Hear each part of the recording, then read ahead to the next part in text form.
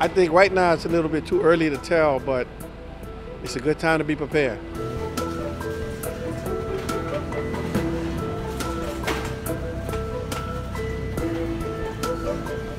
una orden ejecutiva eh, eh, a los fines de activar la Guardia Nacional, ¿verdad? de declarar eh, un, un evento de emergencia inminente eh, con el huracán Irma.